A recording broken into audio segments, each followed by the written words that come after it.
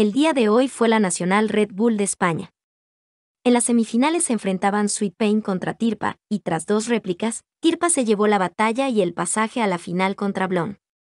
Al conocerse el ganador, por error dijeron el nombre de Sweet Pain, y corrigieron al segundo por el de Tirpa. Esto sumado a que Sweet Pain pensó que fue tongueado, desató su reacción y fastidio por el resultado.